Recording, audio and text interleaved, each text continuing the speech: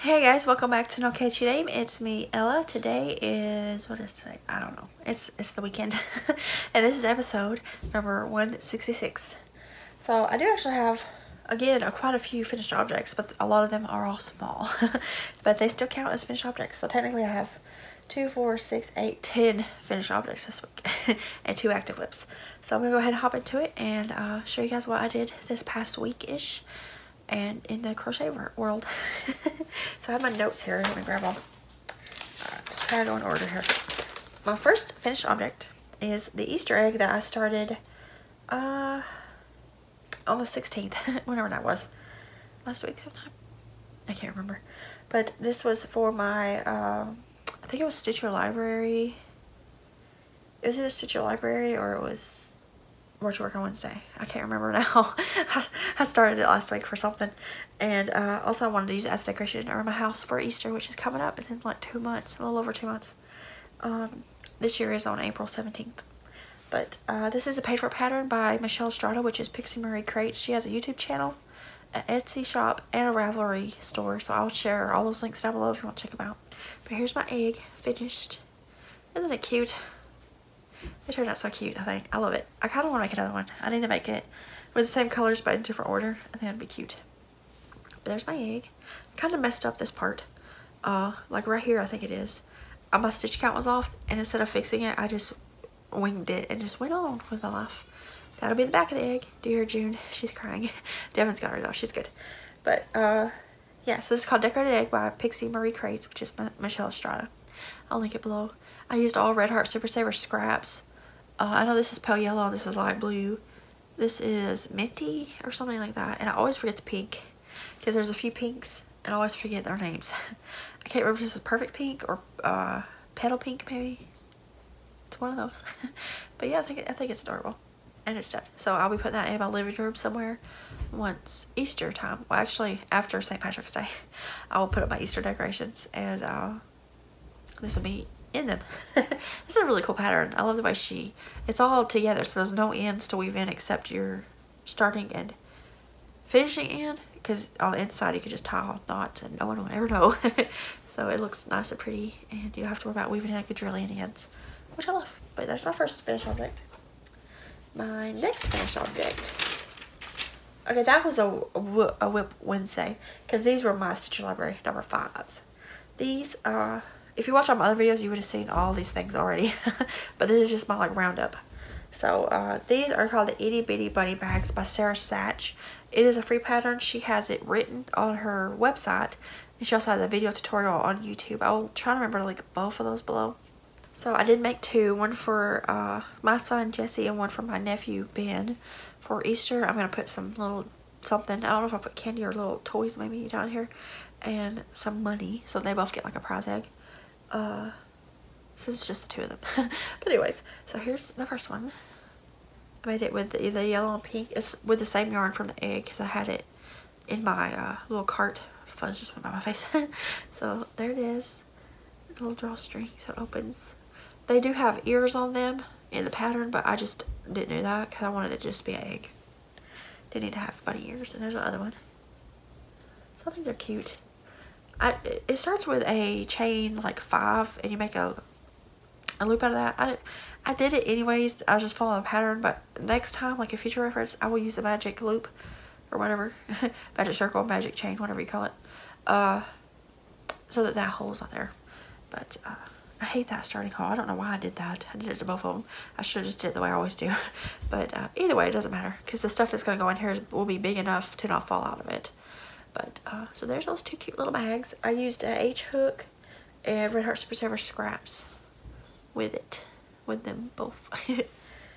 so, that's Easter stuff. Now, this next things are technically Easter things, but they're not Easter themed. And like I said, if you watch my other videos, you would already seen all these, but I'm to show them to you anyways. These are all seven free patterns by olive@stringydingding.com. I will link them all below. You can also purchase their PDFs uh, if you want the PDF version to like print out and keep in a binder or something. But uh, yeah, so we'll go through all of them.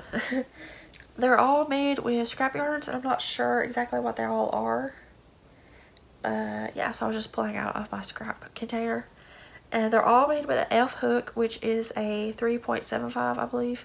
The H hook that I just mentioned is a 5 millimeter. Because uh, someone mentioned recently that they don't know how to convert it because they're in Canada, I believe. And go figure, the US has to use stupid, like their own version.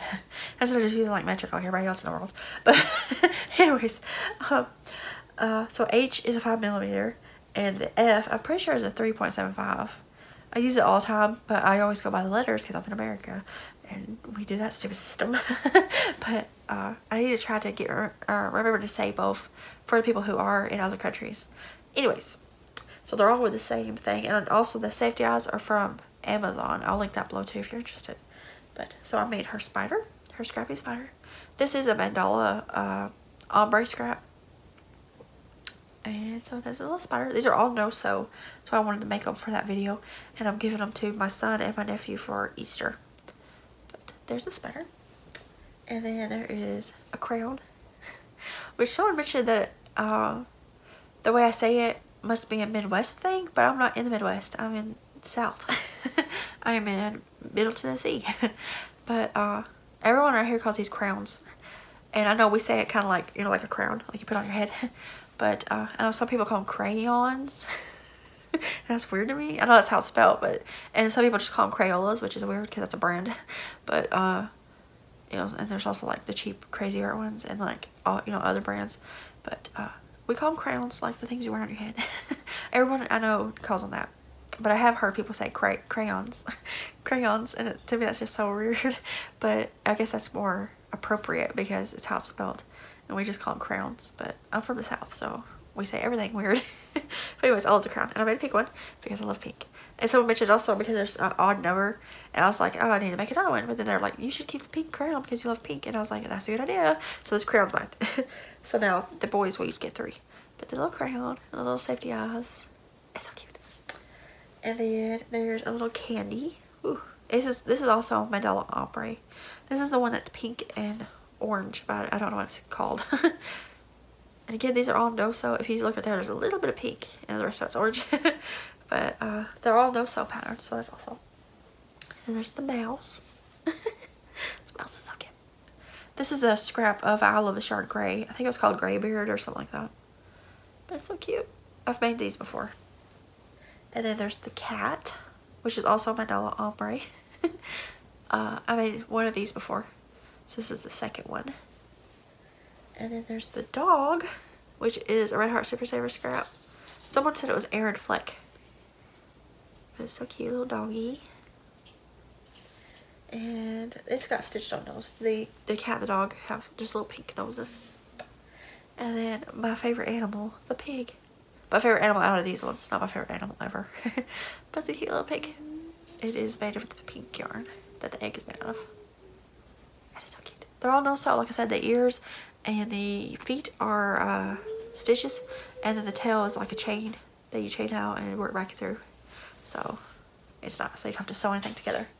That's all my finished objects, which like I said, if you watch my other videos, you would have already seen all those. But uh, my episodes is where I just kind of condense everything that I've done so that you guys can see it. But anyways, so that is all my finished objects. So I do have two WIPs. One is my shrug, which I have worked on since uh, you guys I've seen it, but I haven't worked on it a ton, uh, mostly because I was making all those amigurumis and because I've been busy with the baby. but it is bigger. I think I was on roll 34. Yeah, I was on this roll right here where this pizza is. 10, 20. Let's see here. 10. There, 10, 20, 30, 1, 2, 3, 4 I think I was on 20, 20 34? I think so. I'm marking them in rows by 10 with these little stitch markers. So it's 10, 20, 34, and there's the pizza. So I did work that many more rows. And so the rows are pretty wide. Oops, what just fell? Oh, I hooked it. Ooh, I can't, I'm not in a good position to show it to you. It's just a big rectangle right now. And all it is is double crochet, skip one, chain one, double crochet all the way across. the yarn I'm using is Red Heart Super Saver Zebra. There's already one whole skein in it and the second skein is almost in it. That's how much is in it. But this pattern is called, uh, let me get my notes. the Stonewall Shrug by Make & Do Crew. It is a free pattern. I am using a J hook, which is a 6 millimeter. Nope, I lied. It's an I hook, which is a 5.5 millimeter. and uh, the yarn is, the yarn I'm currently using for it is Red Heart Super Saver Zebra. But I will also be using Red Heart Super Saver Glow Glowworm for the like color and cuffs and stuff. Uh, I started this way back in the beginning of February. I'm still not done with it, but it's just because I'm, I'm busy with baby. And also, uh, when I do crochet, I only have like spurts of crochet time, so I work on little things. But I did get some rolls done, so I'm glad for that. Let's see, where's my stitch markers go? So I got one, two, three, four, five, six, seven, and a little bit of one done. I like the way it's pulling so far, kind of zigzaggy. This is going to be a Beetlejuice themed shrug for me.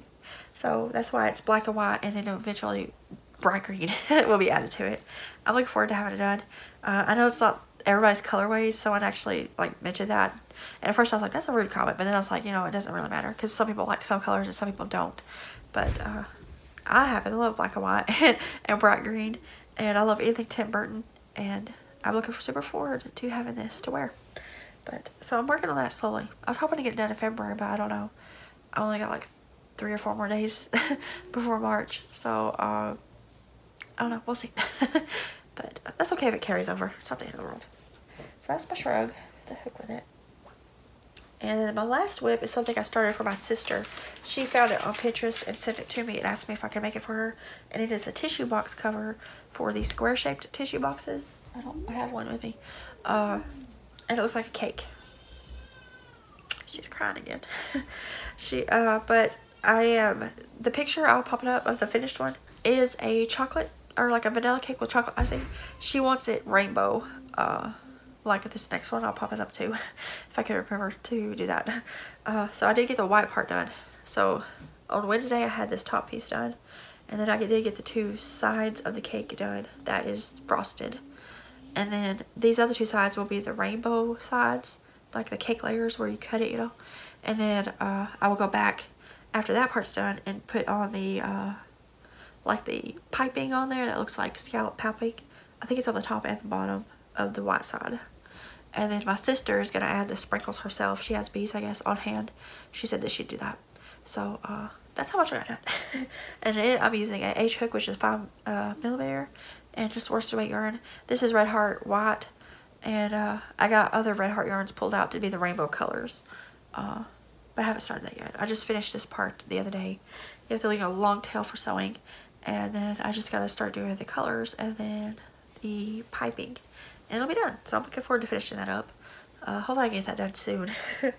but uh, and also hopefully I remember to paint a picture so you can see what it looks like. This is a free pattern on the website Tissue Box Bakery. They also have paid for patterns too of a bunch of different cakes if you want to check them out. It'll all be linked below. Uh, I already said what I was using. Yeah. So yeah, so that's my only two WIPs right now. And uh, I don't know what else I want to start. I need to find another Stitch Library pattern. I have a few on my desktop that I have separated that I want to make soon. I just don't know if I actually want to like make them, you know. uh, I, I really like making these little things because it lets me finish something in between doing, you know, uh, house stuff or mom stuff. Uh, so, I don't know. We'll see. but maybe in the next video I will be talking about it. Uh, on the next Watch Your Work on Wednesday video, maybe I'll have a new WIP. uh, and then hopefully a Stitch Library video soon. But I'm going to go ahead hop off here, and I will see you guys in another video, because I got to clear this stuff up and go see if Devin needs some help. Because I've heard Jude cry twice now, so he might need some help. but I'm going to hop off, and I'll see you guys in another video. Bye, guys.